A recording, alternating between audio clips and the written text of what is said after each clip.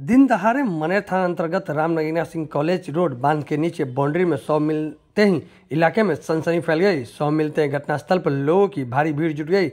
मृतक की पहचान मनेर थाना क्षेत्र के देवी स्थान के निवासी कृष्णा साव का 22 वर्षीय पुत्र सुनील कुमार के रूप में हुई है।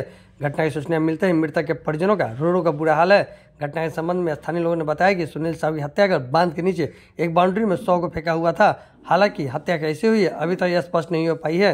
मृतक के परिजनों के द्वारा अभी तक स्थानीय थाना में लिखित आवेदन नहीं दिया गया है। घटना की सूचना मिलते ही मनेर थाना की पुलिस पूरे दल बल के साथ मौके वारदात पर पहुंचकर शव कब्जे में लेकर अनुमंडलीय अस्पताल पोस्टमार्टम के लिए भेज दिया है। मनेर थाना के एसआई सुरेश प्रसाद ने बताया कि प्रथम दृष्टा हत्या की प्रतीत होता है। मृतक सुनील कुमार के शरीर पर कई जगह जख्म के निशान पाए गए हैं। मृतक का दांत भी टूटा हुआ है। हत्या का मामला दर्ज कर छानबीन की जा रही है। जल्द ही मामले का उद्भेदन कर दिया जाएगा। देखिए, हम लोग को सूचना मिला कि रामनगीना कॉलेज के बगल में बाँध के नीचे एक क्लास पड़ा हुआ है। सूचना पाकर हम यहाँ पर आए। देखे कि एक क्लास पड़ा हुआ था जो उसका मुँह पर चोट है कपार फटा हुआ है।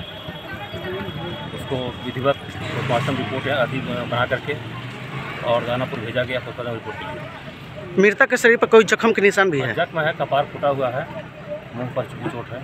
कैसे हत्या हुई है? अभी तो हत्या का हम क्लियर नहीं कर सकते हैं लेकिन लगता है कि कुछ चोट है कपार भी फटा हुआ है चोट है उसमें। पीट पीट कर जाँच के बाद ही बता सकते हैं कि हाँ क्या है इसमें।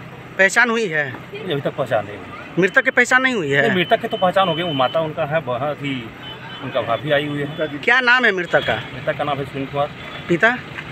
कृष्णा कृष्णा साहू कहाँ का रहने वाला है? अब कोई लिखित आवेदन नहीं आया? है लिखित आवेदन लोग जाएँगे देंगे। जाँच चल रहा है। जाँच चल रहा है। जाँच के बाद ही बता सकते हैं। अपना परिचय